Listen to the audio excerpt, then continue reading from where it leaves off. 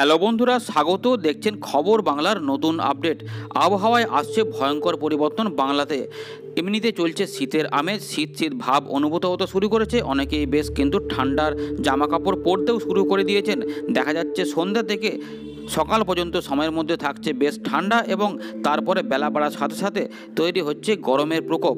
অর্থাৎ ঠান্ডা এবং গরম এই দুটি মিলিয়ে এখন একটা আবহাওয়া সৃষ্টি করেছে যাতে কিন্তু ইতিমধ্যেই অনেকের ঠান্ডা লেগে গেছে এবং ঠান্ডা লাগতে যাচ্ছে এমন পরিস্থিতি রয়েছে এবং ইতিমধ্যে খবর বেরিয়ে আসছে যে আবারও কিন্তু তাপমাত্রা মঙ্গলবার থেকেই বাড়তে শুরু করে দেবে। অর্থাৎ ঠান্ডাটা কিন্তু চলে যাবে, তারপর আবার ঠান্ডা ফিরে আসবে এবং এই পরিস্থিতি কিন্তু আগামী দিনে আরও ভয়ঙ্কর পরিস্থিতি তৈরি করতে পারে এমন মনে করছে বিশেষজ্ঞ মহল এবং এদিকে চলছে করোনার আবহাওয়া।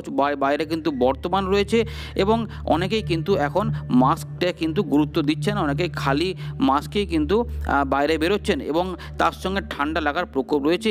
এই দুটি মিশিয়ে কিন্তু একটা ভয়ঙ্কর বিপদের মুখে ফেলতে পারে বাংলার আবহাওয়াকে। তো সেই দিক দিয়ে কিন্তু অনেকের সাবধান থাকতে হবে।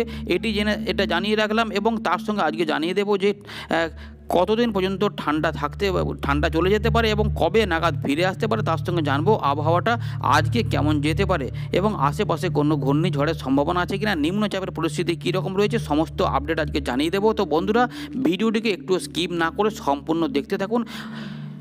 আর ভালো লেগে থাকলে একটি লাইক করে দেবেন। আর নিয়মিত খবর বাংলাটাকে সার্চ করতে থাকুন। তাহলে কিন্তু আপনারা পেয়ে যাবেন নিত্য নতুন আপডেটগুলি। তো চলুন শুরু করা যাক। ইতিমধ্যে আমরা বঙ্গোপসাগরের চিত্রে দেখতে পাচ্ছি একটি নিম্নচাপ এরিয়া কিন্তু পাচ্ছি এবং এই নিম্নচাপের ফলে দক্ষিণ ভারতের বিভিন্ন জায়গাতে থাকবে বৃষ্টিপাত এবং একটা রয়েছে কিছু ঘূর্ণাবর্ত, যার ফলে কিন্তু আবহাওয়াতে আবার পরিবর্তন আসতে শুরু করছে। আমরা যদি কিছু জায়গা দেখি তাহলে কিন্তু এটা পরিষ্কার হবে।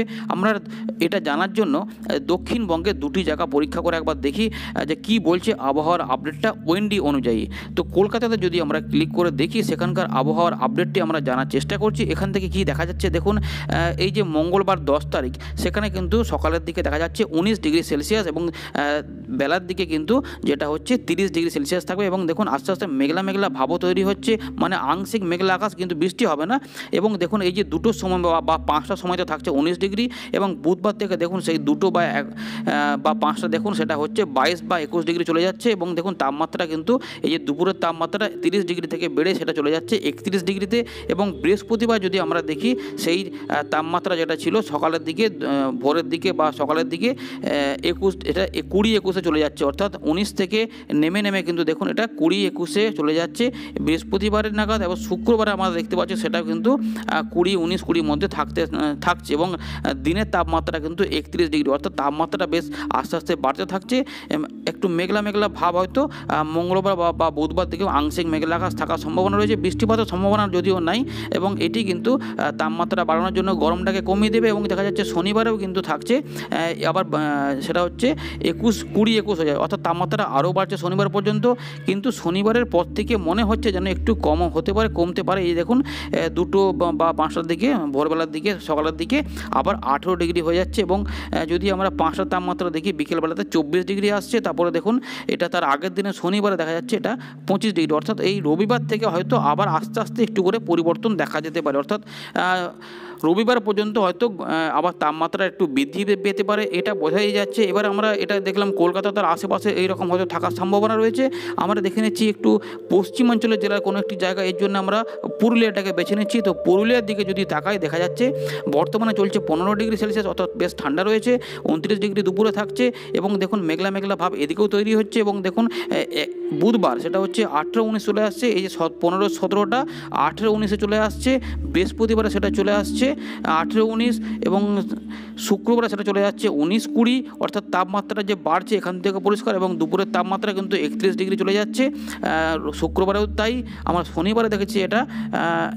উনিশ উনিশ হয়ে যাচ্ছে, অর্থাৎ উনিশ উনিশ, অর্থাৎ তাপমাত্রা বেড়েই থাকছে। আবার রবিবার দেখা যাচ্ছে আঠেরো, উনিশ চলে আসে, অর্থাৎ রবিবার থেকে আবার তাপমাত্রা একটু করে নামা শুরু শুরু করছে।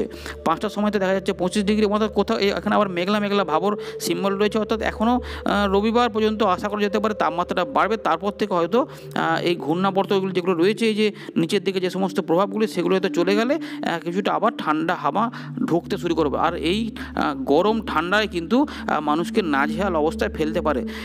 এইরকম কিন্তু পরিস্থিতি তৈরি হচ্ছে। বৃষ্টিপাতের কোনো সম্ভাবনা নেই, আমরা দেখতেই পাচ্ছি। আমরা যদি নিচের দিকে একবার দেখি এখানটায়, তাহলে দেখুন কি হচ্ছে। বিভিন্ন এই যে দক্ষিণ ভাগে কিন্তু এইখানে বৃষ্টিপাতের কিছু সম্ভাবনা অবশ্যই থাকবে। দক্ষিণ ভারতে আমাদের কিছু দেখি, এই যে নিম্নচাপ কিন্তু হঠাৎ করে যে ছোট্ট মানে দুর্বল নিম্নচাপ যেটা তৈরি হচ্ছে পশ্চিম উপকূলের দিকে, তার ফলে কিছুটা ঘূর্ণাবর্ত রয়েছে। এই ঘূর্ণাবর্তটাই কিন্তু যেটা হবে, এই ঠান- ঠান্ডা যে হাওয়াটা এদিকে আসছে সেটাকে বাধা দিয়ে তাপমাত্রাটা কিন্তু বাড়িয়ে কিছুটা মেঘলা মেঘলা ভাব তৈরি করছে। যে উড়িষ্যার দিকে কিছুটা বিক্ষিপ্ত বৃষ্টিপাতের কিন্তু সম্ভাবনা রয়েছে সেইগুলোই সেই, তার ফলেই কিছুটা কিন্তু মেঘলা মেঘলা ভাব তৈরি হতে পারে। এরকম কিন্তু আবহাওয়াটা যাচ্ছে। এবারে আমরা দেখুন, এটা হচ্ছে বিষয় এই, এইটা হচ্ছে, এটা কিন্তু আস্তে আস্তে এই তেরো, চোদ্দ, পনেরো নাগাদ বা রবিবার থেকে আস্তে আস্তে এটা চলে যাওয়ার সম্ভাবনা কিন্তু রয়েছে। হয়তো কোনে কমে যেতে পারে, এটা আদি, এটা আরও নিচের দিকে সরে চলে আসবে। যার, এবং এবং যেটা হচ্ছে, এই যে এখানে আবার কিছু রয়েছে, বৃষ্টিপাত এটাও কিন্তু আবার যেটা হচ্ছে কিছুটা বাধা দিতে পারে এই উত্তর পশ্চিমে যে ঠান্ডা হাওয়া আসবে, এটাও কিন্তু এখানে দেখুন বৃষ্টিপাতের সম্ভাবনা রয়েছে। তার ফলে এই আবহাওয়াগুলোই কিন্তু আবার বাধা হয়ে দাঁড়াতে পারে। এটা এটা আবার না যাওয়া পর্যন্ত কিন্তু এই যে মোটামুটি মঙ্গলবার থেকে আশা করা যেতে পারে যে আবহাওয়াতে আবার ঠান্ডা ভাব ঢুকে যেতে পারে। অর্থাৎ এদিকে কিন্তু পরিষ্কার করে আবার শীতল হাওয়া আসতে শুরু হতে পারে এবং উত্তর সিকিমের দিকে দেখুন, এখানে কিন্তু বরফ পড়া বা উত্তর ভুটানের দিকে কিন্তু এদিকে বরফ পড়া শুরু হতে পারে, ঝঞ্ঝা রয়েছে, এদিকে কিন্তু রয়েছে শুরু হওয়া রয়েছে। এবারে যেটা হচ্ছে পশ্চিমী ঝঞ্ঝা যেটা হচ্ছে সেটা এই বৃহস্পতিবার বা পনেরো, এইরকম সময় কিন্তু এদিকে একটা, এই যে এখানটায় কিছুটা আসতে পারে, সম্ভাবনা রয়েছে। আমরা দেখিয়ে দিচ্ছি একটুখানি, এদিকটা দেখি নেই।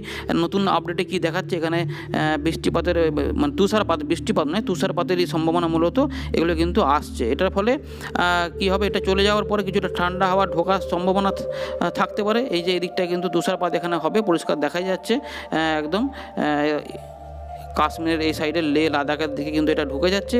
আপনাদের দেখিয়ে দিলাম, এটা এর ফলে এর ফলে এবার এখানে কিন্তু এই উত্তরপ্রদেশ এদিকে কিন্তু একটা বৃষ্টিপাতের সম্ভাবনা রয়েছে। অর্থাৎ এই ঝঞ্ঝাগুলি যখন যদি বেশি শক্তি নিয়ে আসে, তখন কিন্তু সেগুলির ফলে বাংলাতেও আগামী দিনে বৃষ্টিপাত হতে পারে। সেটা আগামী দিনের খবর, আগামী দিনে জানিয়ে দেবো। এবারে আমরা যেটা দেখছিলাম যে ঘূর্ণিঝড়ের বিষয়টি যারা দেখাচ্ছিলাম, একটু এখান থেকেই দেখিয়ে দিই। আমাদের আশেপাশের সেটির কী অবস্থা? দেখুন, এই যে এটা। এখানটা একবার দেখিয়ে দিচ্ছি, তারপরে আবহাওয়া দেখিয়ে দিচ্ছি। এখানে যেটা হচ্ছে, একটি তো যেখানে যাচ্ছে তারপরে আবার একটি আসছে, সেটা ফিলিপিন্স হয়ে হয়তো আসবে। সেটি হয়তো বেশি শক্তি নিয়ে আবার ফিলিপিন্সে ঢুকে যাবে। ঢুকে এখানে প্রচণ্ড পরিমাণে কিন্তু এখানে তো বৃষ্টিপাত ঘটিয়ে একদম জলস্তর বাড়িয়ে ভয়ঙ্কর এতে প্রচুর বৃষ্টিপাতের সম্ভাবনা। এখানে যদি মিটার লাগালেই বুঝতে পারবেন কী অবস্থা এখানে। প্রচুর বৃষ্টিপাত, প্রচুর। মানে একদম এক, কোথাও কোথাও একশো মিলিমিটার বৃষ্টিপাতও রয়েছে, প্রচুর বৃষ্টিপাত। এগুলো দেখলেই বুঝতে পারছেন, এই যে ঘূর্ণিঝড়ের ফলে কী হচ্ছে, এটা একটা সাইক্লোনের মতন আর কি। এতে কী হচ্ছে, প্রচুর বৃষ্টিপাত এখানে সিলিং ফিলিপিন্সের বিভিন্ন জায়গাতে হবে, এটা কিন্তু তারপরে আবার সরে যাবে। দেখুন, বৃষ্টিপাত কিন্তু আস্তে আস্তে প্রচুর পরিমাণে ঘটিয়ে এটা আস্তে আস্তে এবার কী হচ্ছে না আরও এবারে আরও সমুদ্রটাকে যখন ক্রস করছে, তখন কিন্তু এটা চলে আসছে আবার ভিয়েতনামের দিকে এবং সেখানে প্রচণ্ড পরিমাণে বৃষ্টিপাত নিয়ে আসছে। ঘন সঙ্গে ঝোড়ো হাওয়া, বিরাট গতিতে এবং এটি কিন্তু আছড়ে পড়বে ভিয়েতনামে। ভিয়েতনামে সেখানে দেখুন প্রচুর পরিমাণে বিরাট একটা শক্তিশালী ঘূর্ণিঝড় একদম। সেখানে প্রচুর বৃষ্টিপাত নিয়ে মানে এখানে এই সব জায়গাতে এটা আঘাত করবে, এই জায়গাটাতে আঘাত করবে এবং এর ফলে এখানে প্রচুর পরিমাণে বৃষ্টিপাত এবং ঝোড়ো হাওয়ার ফলে এখানে কিন্তু বিপদের ঘণ্টা বাজাবে এবং এখানে কিন্তু যথেষ্ট পরিমাণে মানুষকে নাজেহাল অবস্থার মধ্যে আবারও ফেলতে চলেছে। এই ঘূর্ণিঝড়টি, সেটি আপডেট নিয়মিত আপনারা দেখে নেবেন। এবারে আমরা দেখে নিচ্ছি, যে এই মুহূর্তে তাপমাত্রার অনেকটা দেখিয়ে দিলাম। একবার দেখে নিচ্ছি, দুপুরবেলাতে তাপমাত্রা কীরকম থাকতে পারে তাপমাত্রা কতটা বাড়তে পারে সেটা দেখিয়ে দিচ্ছি। অল্প করে, ছোট্ট করে দেখিয়ে দিচ্ছি সব জায়গাতে আমরা মিটার লাগিয়ে দেখিয়ে দিচ্ছি। দেখুন এই বারোটার দিকে নিয়ে যাই, যদি বারোটার দিকে নিয়ে যাই, বারোটা একটার সময় দুপুরবেলার দিকে, তখন কি হচ্ছে এই মোটামুটি এদিকটায় তিরিশ ডিগ্রির মধ্যে থাকছে। দুই মেদিনীপুর, ঝাড়গ্রাম এদিকে পুরুলিয়া বাঁকুড়ার দিকে পশ্চিম বর্ধমান এবং পুরুলিয়া এবং পূর্ব বর্ধমান থেকে তিরিশ ডিগ্রি কলকাতা তার আশেপাশে দুর্গাপুর এদিকে যেটা হচ্ছে নদিয়া দুই চব্বিশ পরগনা তার সঙ্গে পূর্ব বর্ধমান হুগলি হাওড়া এগুলোতে কিন্তু তিরিশ ডিগ্রি আশেপাশে থাকবে এবং এদিকে মুর্শিদাবাদের দিকে বীরভূমের দিকে তিরিশ ডিগ্রি থাকার সম্ভাবনা রয়েছে এবং যদি আমরা নিয়ে যাই এইদিকে আহ, দিনাজপুর মালদার দিকে সেখানে কিন্তু উনত্রিশ ডিগ্রির মধ্যে থাকবে এবং দুই দিনাজপুরও এরকমই থাকছে। দার্জিলিংয়ের দিকে অনেকটা কিন্তু কমে যাচ্ছে অর্থাৎ কিন্তু তাপমাত্রা খুব কমছে না একটুখানি বেড়ে বাড়ছে কিন্তু আস্তে আস্তে। আজকে শিলিগুড়ি, জলপাইগুড়ির দিকেও কিন্তু উনত্রিশ আঠাশের মধ্যে থাকবে এবং রংপুর বিভাগেও মোটামুটি দেখা যাচ্ছে উনত্রিশের মধ্যে থাকার সম্ভাবনা। সিলেট থেকে ময়মনসিংহ তিরিশ এবং রাজশাহী বিভাগেও তিরিশ। ঢাকা থেকে কুমিল্লা বলুন এদিকে মেহেরপুরের দিকে তিরিশ মতো, খুলনা বিভাগ, বরিশাল বিভাগের দিকে উনত্রিশ তিরিশ, চট্টগ্রামের দিকেও তিরিশ ডিগ্রি সেলসিয়াস দেখা যাচ্ছে। ত্রিপুরার দিকে একত্রিশের মতো, তিরিশ একত্রিশের মধ্যে উনত্রিশের মধ্যে থাকবে এবং এদিকে কিন্তু দেখা যাচ্ছে যে আসামের দিকে শিলচর বা গুয়াহাটি এসবের দিকে আঠাশ উনত্রিশের মতো সম্ভাবনা কিন্তু রয়েছে। পুরোটা দেখিয়ে দিলাম, আঠাশ থেকে সাতাশ। এবারে আমরা একবার দেখে নিচ্ছি যে রাতের দিকে তাপমাত্রা কীরকম থাকছে। সন্ধ্যের দিকে একটুখানি থাকবে কিন্তু রাতের দিকে আমরা দেখে নিচ্ছি রাতের তাপমাত্রা কলকাতার আশেপাশে হুগলি, হাওড়া, দুই চব্বিশ পরগনার দিকে কুড়ি, বাইশ, একুশের মধ্যেই কিন্তু মূলত থাকার সম্ভাবনা রয়েছে। দুই চব্বিশ পরগনা, তার সঙ্গে নদিয়ার দিকেও কিন্তু উনিশ বা মুর্শিদাবাদ দিকে সতেরো, আঠেরো থাকবে। তারপরে কিন্তু আস্তে আস্তে সকালের দিক থেকে তাপমাত্রা কিন্তু বীরভূমের দিকেও তাই নেমে যাওয়ার সম্ভাবনা কিন্তু রয়েছে। আমাদের দেখিয়ে দিলাম, দুই, এদিকে পুরুলিয়া, বাঁকুড়া দুই মেদিনীপুর, ঝাড়গ্রাম এদিকে কিন্তু এরকমই থাকার সম্ভাবনা রয়েছে। আপনারা দেখে দিলেন আপনাদের জায়গাগুলো। এবারে মালদা বা দুই দিনাজপুরের দিকে দেখুন সতেরো ভতেরো থাকছে, ষোলোর দিকে রাতের দিকে এরকম থাকছে। এবারে এই রাতটা পেরিয়ে গেলেই কিন্তু আস্তে আস্তে টেম্পারেচার বেড়ে যাওয়ার সম্ভাবনা রয়েছে। উত্তরবঙ্গে এরকম পাওয়া যাচ্ছে। রংপুর বিভাগে আঠেরো মতো, রাজশাহীর দিকে ময়মনসিংহ সিলেট পর্যন্ত সতেরো, আঠেরো, উনিশের মতো থাকবে এবং মেহেরপুর থেকে ঢাকা, কুমিল্লা, তার আশেপাশের কোথায়? কুড়ি একুশ। এবারে যদি খুলনা বরিশালের দিকে দেখুন, কুড়ি বাইশের মধ্যে থাকার সম্ভাবনা রয়েছে। সমস্ত জায়গা দেখিয়ে দিলাম। তার সঙ্গে চট্টগ্রামের দিকে এরকম কুড়ি বাইশ, একুশের মধ্যে থাকার সম্ভাবনা। ত্রিপুরার দিকে কুড়ি একুশের মধ্যে থাকার সম্ভাবনা। আস্তে আস্তে টেম্পারেচার বাড়বে এবং করিমগঞ্জ, অববাহিকা, শিলচর দিকে উনিশ, এবং মেঘালয়ের দিকে তো বেশ কমই থাকছে। তার সঙ্গে আসামের বিভিন্ন অংশে আঠেরো, উনিশের মধ্যে থাকার সম্ভাবনা কিন্তু রয়েছে। তো এই ছিল লেটেস্ট আপডেট পরবর্তী আপডেট আবার দেখা হবে। ভালো লেগে থাকলে একটি লাইক করে দেবেন এবং শেয়ার করতে ভুলবেন না। ধন্যবাদ।